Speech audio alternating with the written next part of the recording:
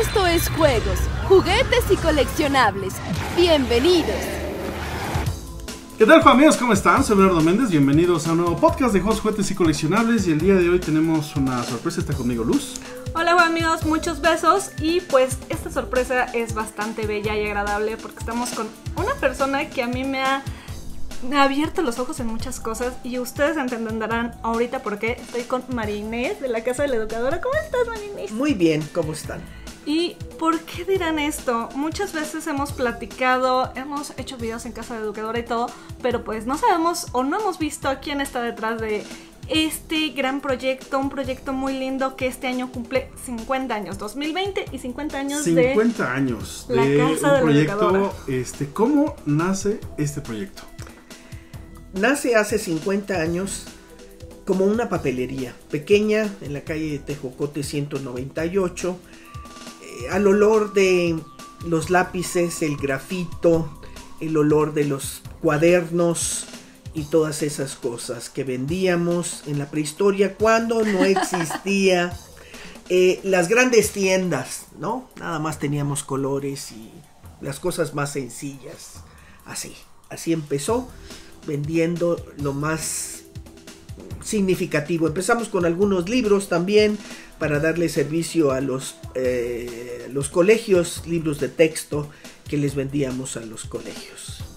¿Y en qué momento fue esta evolución? Porque nosotros ya conocemos como el producto final en este momento, pero tuvo que haber algo. Un- ¿Qué, un- qué un fue el cambio. ¿Qué llevó que a esto? dijiste es, tengo que irme por acá.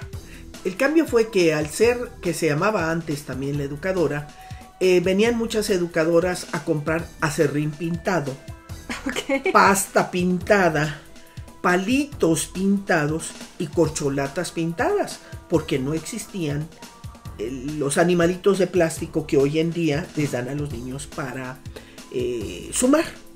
Entonces, cuando vimos que esas necesidades de jugar con palitos y papel de China era tan tan pequeña y que el niño estaba en una forma ilimitada para traer juegos, pues nos fuimos a Estados Unidos, a Texas, a ver tiendas y a ver qué se vendía, qué había y qué podíamos traer. Una mamá que tenía una niña con síndrome de Down que pintaba, que de hecho tengo el, cuadro pintado aquí de un torero, fue el la que me dijo, traiga juegos Ravensburger, son increíbles. Y entonces así nació la idea de empezar a traer la marca alemana. Wow, o sea, Eso fue en Texas que conociste que te, En te Texas. dijeron eh, Ravensburger. No, me lo dijeron aquí. Y entonces Ok. fui a Texas y Texas manejaba cinco juegos. Ok. Y entonces después de Texas ya nos lanzamos a Ravensburger. Ravensburger no conocía ni dónde estaba México.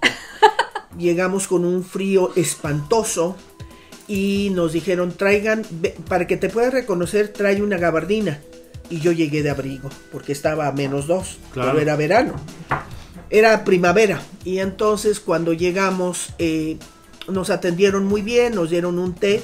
Y cuando vieron que, que teníamos una lista de juegos, pues dijeron estos van a hacerlo. Pero había dos personas interesados en la compra de la marca En ese momento. en ese momento. Wow. Eh, yo le dije me quedo con la línea de juegos y al otro señor que era un suizo eh, que se quede con los rompecabezas. Y el director Harold de hace 30 años me dijo no. Es una marca completa, yo voy a México, yo decido, yo veo. ¿Y qué vas a comprar? Pues voy a comprar 100 cajas y las voy a traer por la Lufthansa en avión. Y así fueron nuestros inicios. con 100 cajitas, wow.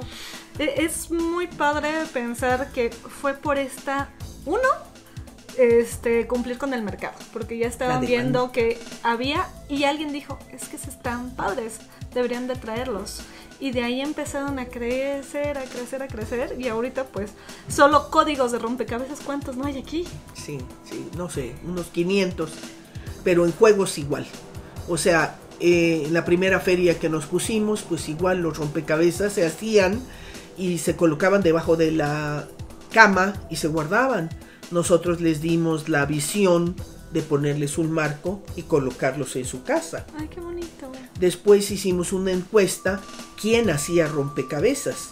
En Alemania las personas que más arman rompecabezas y compran son las mujeres. Wow. Aquí en México no. Aquí son los ejecutivos estresados que con una copa, una, un té, lo que sea, llega a su casa, una música clásica increíble, empiezan a armar rompecabezas. Y después empezaron a pedir ya temas especializados. Oiga, a mí tráigame arte, tráigame a Klimt, tráigame eh, toda la serie de Renoir y tráigame La Noche Estrellada. Y entonces fuimos diversificándonos en traer de diferentes marcas. Sí, justamente eso es algo. Yo sé que empezaron aquí en Alemania, pero ya fueron creciendo, expandiéndose a otras marcas. Sí, eh, lo, que nos, lo que nos une es la calidad. Nos han enseñado muchas marcas y vemos el grosor. Es importante que llenen las necesidades de las personas. Tenemos una marca con la que tenemos un compromiso con ella, que es la Casa de la Educadora. Y entonces buscamos calidad. Y no solo eso, hay acá entre nos, les tenemos que chismear. Ya saben, amigos, yo me dediqué mucho tiempo a recursos humanos y es parte de mi célula medular. Y una pregunta que siempre les hacía o les hago a los chicos es ¿cuánto tiempo llevan en la empresa? Yo sé que Marines lleva 50 años, pero en general sé que todos son muy longevos aquí. Eso de qué nos habla, nos habla del amor por la camiseta y de la camiseta, el amor que les da. ¿Cuántos años llevan aquí? Eso es, eso es difícil. Tener un perfil que llene la casa de la educadora. Se acaba de ir nuestra primera persona con 39 años de trabajo. Ya estaba eh, jubilada, hacía tres o cuatro y todavía viene y hace sus peninos un día, dos. Tenemos más de 25 personas con más de 20 años en la empresa. ¿Qué significa? Que aman verdaderamente lo que hacen, que tienen la camiseta puesta y que proyectan lo que hacen al 100%. Es que es lindísimo. Ustedes entran aquí en Casa de la Educadora. Estamos en la calle de Recreo, muy cerca de Galerías Insurgentes, muy cerca este, de toda esta zona. Y siempre te atienden los chavos, quien esté con una actitud increíble. Y lo más padre es que el juego que quieras conocer, te lo muestran, lo abren. Siempre hay muestras para que juegues y realmente te enamores. A veces pasa de que vienes y ves algunas cosas, pero jugarlos y como dicen, el valor percibido del juego, que pesan, pesan un chorro. Y de la calidad de las piezas, este detalle que traen es lo que termina de enamorar a la gente. Sí, así es. Después vinieron eh, psicólogas, logopedas, que necesitaban llenar sus, su, la demanda que tenían. Y entonces empezamos también en, en áreas no solamente de rompecabezas, a traer juegos pues de Bélgica, estamos trayendo de Polonia, trajimos de Rusia, y entonces donde no sabían ni siquiera cómo exportar a México y, eh, y siempre con una calidad y un precio adecuado a nuestro mercado, que es esencial. Y algo súper importante es que está todo en español.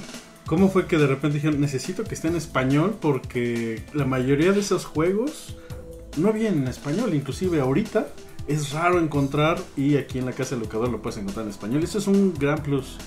Bueno, hay una anécdota muy bonito. Hacemos traducciones de muchos juegos, pero en este momento eh, Grecia el año pasado tenía 2.000 juegos en griego. Wow. Y eso fue hace tres meses. Que era eh, Funny Bunny, que es la, la zanahoria, y un castor. Tenían 1200 juegos de cada uno. Y los compramos. Venían en griego. Sí, sí, yo tengo ese. Vean los programas porque Sí. lo hemos jugado. Es increíble el de la zanahoria, me encanta. Bueno, pues tenemos 200 de cada uno. Le hicimos una traducción y llena tanto las necesidades y es un excelente juego que el precio lo bajamos a 299 y hemos llegado a muchísimas clases sociales B de esta manera. El mes que entra nos llegan juegos en chino de la misma Ra- Ravensburger y el año pasado nos llegaron de la India Ok. y así vamos por más. Ravensburger está en 90 países vendiéndose. Y es padre decir justamente, es una empresa que empezó con tres personas, ha Sí. crecido muchísimo y es la representante oficial de una marca tan grande en México. Sí, habitualmente somos la representante de todas las marcas que traemos. En algunas ocasiones alguien se nos sale del aro y así lo vemos y así lo, lo- no, no alegamos con esto, pero sí, eh, Ravensburger fue la primera que nos dio el espadadrazo y que nos da entrenamientos personalizados cada año allá a los que asisto y que nos enseña eh, muchísimo marketing y la forma de vender. También hay algo importante, de repente nos ha tocado como consumidores, cuando andamos paseando y demás, ver rompecabezas que tienen monumentos o están inspirados en México.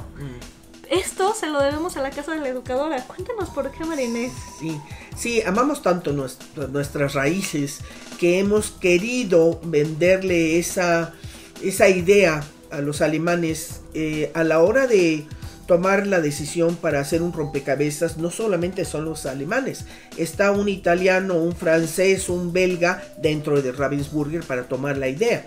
Se fabrican aproximadamente 5000 en el primer tiraje. Ok. Hay series de, de Austria, de España, etcétera, pero para hacer una serie de Latinoamérica, Latinoamérica pues no había. Entonces llevamos, ¿les parece bien? 100 dibujos. Wow. Nos seleccionaron tres, ellos seleccionaron otros tres. Y en este momento vamos a aumentar otros tres. Qué bello. Es, es padre porque yo sé que lo vemos aquí en México, pero estos monumentos, lugares históricos, representativos de México, también se están vendiendo en otras partes del Así mundo. es, así es. Así como aquí te encontramos también de otras La partes Torre del Eiffel, mundo, claro. por así decirlo. Sí, sí, se está vendiendo en China, se puede estar vendiendo en, en, este, en Croacia. eh, las amigas de Croacia tienen sus tiendas, u- una de sus eh, canales de venta son las gasolineras y ahí podemos encontrar Chichen Itza. ¿Y cuál es la anécdota más curiosa de estos 50 años? Porque ha de haber mil anécdotas, ha de haber mil cosas, pero que tú digas, esta es como que una de las que más me llevo. Pues la más repetitiva en ferias, ¿no? Me encantan las ferias. Este, vamos al 100%, empezamos desde hace 30 años con la Feria del Libro de la Ciudad de México. Y lo que más nos preguntaban con los rompecabezas, que era un artículo nuevo en México y con tantísima variedad, decía, oiga, ¿me vende el libro Cómo armar un rompecabezas? Yo también quiero uno de esos, por favor. Claro, pero no existe. Entonces, se paraba uno y le decía, mire usted, usted abre su, su- su rompecabezas, hace una selección de colores, lo pone adentro de topercitos, de charolitas, los colores, y entonces usted empieza haciendo el marco. Ah, pero es que yo quiero empezar en el medio. Bueno, señor, pues entonces empiece usted. Pero el libro, no, el libro no lo tenemos. Después de 35 veces les dije, el libro se agotó. y ya no hay libro. Y si llego atado. Y seguimos igual porque no se puede no se puede medir cómo hacer un rompecabezas. Mucha gente empieza por el medio. Mucha gente empieza con las piezas volteadas, Sí. E- Ese es un reto enorme. pero lo hacen. Sí. Mucha gente empieza mezclando dos rompecabezas. Ay, qué Ay. miedo. Eso ya es un nombre es, este, plus Así es. allá. Así es. Y eh, hablando de la casa de la educadora, ¿cómo es que cambió el nombre de la educadora a la casa de la educadora? Porque la casa es sinónimo de familia. La casa es sinónimo de hogar, de, de entretenimiento, de, de algo, eh, estar más unidos. Y de ahí nos vino la idea de la casa de la educadora, donde se, se tienen todos los productos para toda la familia. Y es lo que he estado viendo que también aquí hay este, cosas especiales para las eh, para la familia que tiene necesidades especiales Sí, que luego no hay. O sea, de repente no es que mi hijo es zurdo, por poner uno. Ah, Sí. bueno, ve a la casa de la educadora porque ibas a encontrar. O hay juegos especiales para ciertos sectores de. de- O para ciertas de- necesidades Ah, de desarrollo, de que, ah, es que mi niño tiene problemas de lenguaje. O ahorita tenemos problemas para que aprenda a hacer cierta Sí. actividad, ¿no? O sea, Los niños zurdos, hace 35 años nosotros trajimos las tijeras de zurdos. Las tijeras dobles tenían dos aros para saber tomar a los niños de dos años, la, cómo saberlos y enseñarlos a, a recortar. wow. Eh, después ya se fabricaron en México. e hicimos un triangulito para saber tomar el lápiz y que lo tomara correctamente. Está muy bueno ese. Están muy cómodos. des- después se hizo hasta un lápiz, pero nació de la idea nuestra que el niño no sabía tomar el lápiz.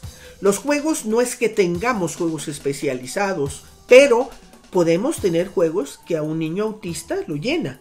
Podemos tener juegos que a un niño débil visual puede utilizarlo y que ayuda a eso. E- e- es muy padre porque siempre hay esta parte de, oiga, necesito esto, bueno, te puede funcionar este, este y este, y como decía, eso es fundamental de los chicos que están ahí abajo demostrando los juegos. Sin ellos, la mitad de esto no se podría hacer o más. Así es. Superaron al maestro, cualquiera de ellos, por el amor que le tienen a esos juegos. Cada vez que llegan juegos, se abre inmediatamente, se revisa y se juega. Sí, me encanta porque de repente justamente cada quien juega, lee las instrucciones y entre ellos nos ha tocado muchas veces que se están retroalimentando de no, es así o es asado o si quieres para tal cosa le quitas esto y le pones Y esto así. y así y demás. Es muy lindo y en serio es esta pasión y me da mucha ternura luego platicar con ellos porque si es de, ah, es que este cuando vamos a las ferias a otros estados, ya llegamos a un acuerdo y hacemos tal cosa para que justamente ellos den el mil por ciento en ese momento. Se enriquecen mucho. Cada uno da una versión diferente del juego. Y cuando vamos a Alemania y le decimos es que este juego sirve para eso y para esto más, dicen, pero no fue creado para eso. Ah, pero nuestra creatividad mexicana lo utiliza para muchas cosas. Pero para eso sirve. Así es, y entonces se quedan sorprendidos de, de todo lo- la- las actividades que hacemos con un juego. Increíble. Y justamente de las ferias, son 30 años asistiendo a ferias, está básicamente en todos los estados, ¿verdad? Tratamos de llegar a cada estado. Ahorita anexamos Pachuca. Sí, estamos en Mérida, estamos en León, hemos estado en Puebla, estamos en Monterrey, Guadalajara, la FIL, que es la más grande. Ahí tenemos un promedio de 40 personas de venta al público que capacitamos también. En fin, sí, cada, día- cada año ponemos un estado más para llegar a picar piedra y empezar desde cero. Claro que sí. Algo que me encanta, que soy muy fan, es que la mayoría de los juegos son para toda la familia. Que pueden jugar. eh, están, hay dos. Uno, el que juegas personal para ti. Ay, yo los amo. que son padrísimos porque la- eh, tu nivel de, de- de- de la cabeza, de la de todo, o sea, del cerebro, todo, aprendes muchísimo y la- los demás son para toda la familia. Eso está bien padre porque puedes jugar de los niños más chiquitos hasta los más grandes, todos al mismo tiempo y se van a divertir. Pero actualmente ya hay una actualización en la casa de la educadora con los juegos. Eh, han evolucionado también a juegos un poco más gamers, como le mencionas, más sofisticados, más de historias, más de figuras. Sí, sí, sí, sí. Eh, necesitábamos también evolucionar con editoriales, con si uno leemos tanto, ¿por qué el juego no lo vamos a hacer así? Entonces, una marca que trabajábamos hace muchísimos años, francesa como es Asmodee, eh, toma una participación muy fuerte en España, están en Sevilla, y eh, vamos a un entrenamiento el año pasado y descu- redescubrimos Asmodee en español. Eh, nos explicaron aproximadamente 30 juegos en donde hay historia, Memory 44, eh, hay este, una creatividad de los juegos. Hay un 5% de gamers en el mundo. En España les dicen jugones. Jugones. A mí no me gustó mucho el nombre, pero en fin, este, prefiero gamers.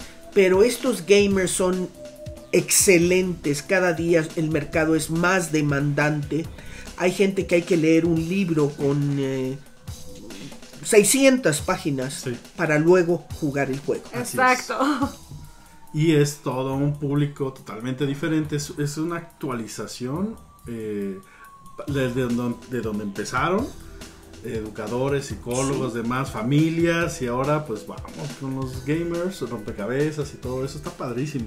Es que es muy padre porque realmente la pasión, y yo lo vuelvo a decir porque es muy importante, amigos, véanlos cada vez que vengan aquí a la casa de la educadora en recreo o vayan a alguna expo, la pasión de los chicos es totalmente otra cosa. O sea, sabemos que de repente una pieza se nos puede perder. A mí me pasó que se te queda en la caja, se va a la basura o las mascotas se la comen o lo que sea.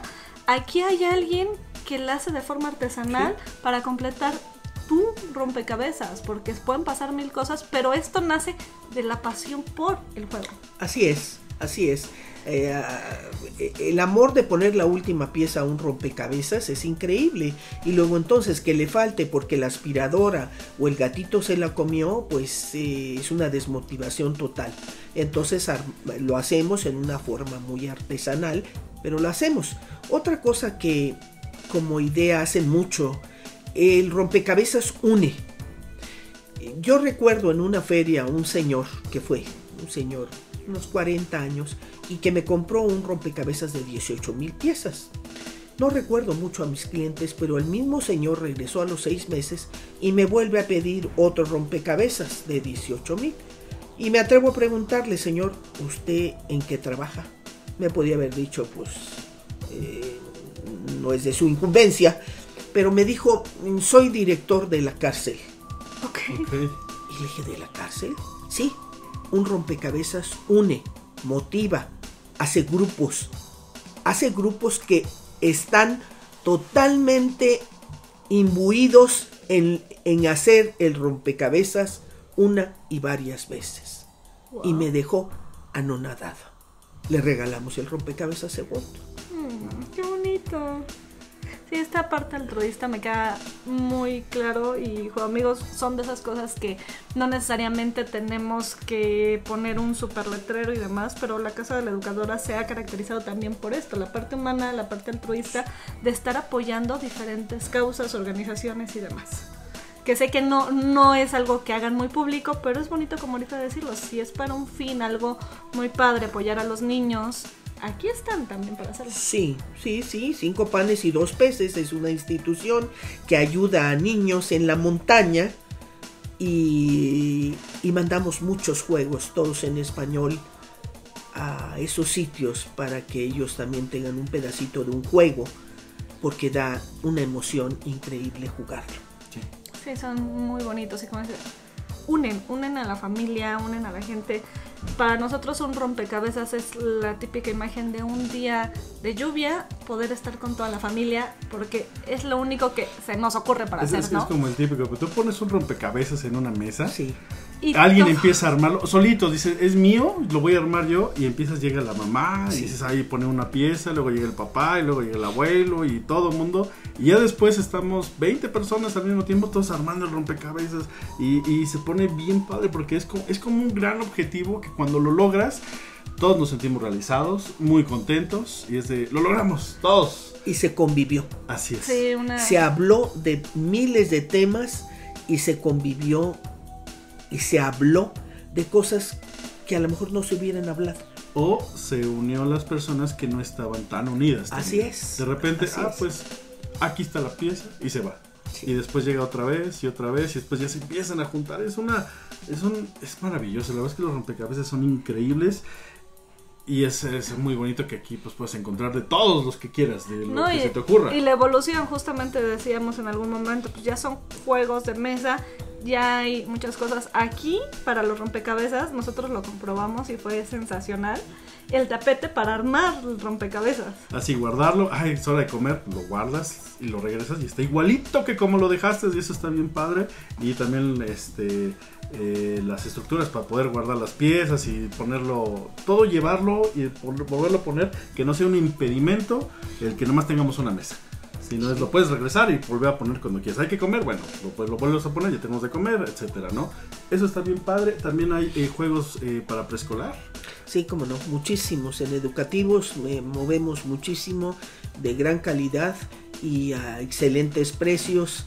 Eh, Ravensburger empezamos con ellos, después tenemos eh, otra marca de Polonia, tenemos otra marca española que nos van a, ayudar desde memorizar eh, sonidos, desde ver tipos de este, diferentes grosores de formas geométricas para débiles visuales, sí. Y hemos traído y seguiremos trayendo, porque cada vez que vamos a una feria es como si de nuestra adrenalina subiera al 100%. Y se enamoran de algo nuevo porque hay tantas cosas tan Siempre. bellas. Sí, y además, algo que también pueden encontrar aquí que no les hemos dicho es el juego típico de casino. Ah, también, sí, como. Que de repente lo andas buscando. Bueno, ¿dónde está el ajedrez? O la ruleta, o el, el de los dardos. Una noche de casino. es- Aquí puedes todo. comprar Sí, todo. El futbolito. Ah, el el fútbol, fut- también el futbolito. El claro. futbolito en chiquito, claro. Eso, eh, eh, esos no, no nos habían abierto ese mercado. Lo abrimos hace apenas un año y este y nos dio una sorpresa grandísimo ver la demanda que había por bingos, por futbolitos, por todos esta clase de juegos que también estamos trayendo. Sí, si no, pregúntenle a Pina que cuando los vio se volvió loca y se llevó uno de cada uno. Así es, entre, creo que todo, todo el equipo de juegos y juguetes, cada que venimos, este, nos Sí, es un emocionamos. poco complicado salir de aquí sin nada. Sí, sí, luego dice Pina, ay, voy para allá. O sea, sus órdenes. ¿Qué es lo que sigue? ¿Qué es 50 años, ¿qué es lo que sigue? Siguen otros 50. Muy bien. siguen otros 100. Y yo lo que siempre digo es, si volvieran a hacer con un camino tan difícil como es empezar a vender juegos, que es igual casi que un libro de vender, muy difícil. Es cultura, es estar en familia, eh, que ahora los medios no nos los permiten tanto, volvería a ser lo mismo vamos por más ferias, vamos a dar a conocer más nuestros juegos, vamos a traer cosas más económicas de calidad y vamos a seguir corriendo el riesgo de traer cosas inexistentes a, esta a este país que sean necesarias. Vamos a crear una necesidad porque están increíbles. Muchas felicidades, Marines. Muchas felicidades a todo el equipo, a toda la familia que es la Casa de la Educadora. Que sigan creciendo por más y más años, más recuerdos, más niños felices, más familias unidas. Eso me encanta. Sí, pues muchas gracias por la Muy entrevista amables. y pues, pues gracias Luz. Gracias Bernardo, gracias Marines. Muchas gracias a ustedes. ¿eh? Y Un pues saludo.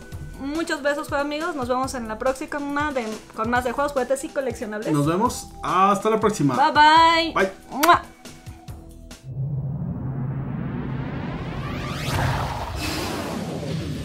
La próxima semana, más juegos, juguetes y coleccionables.